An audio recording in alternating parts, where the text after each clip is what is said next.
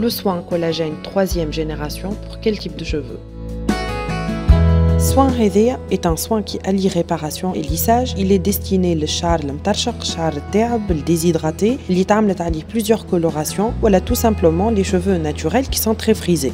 Il est par excellence le sauveteur des cheveux en détresse pour trois raisons.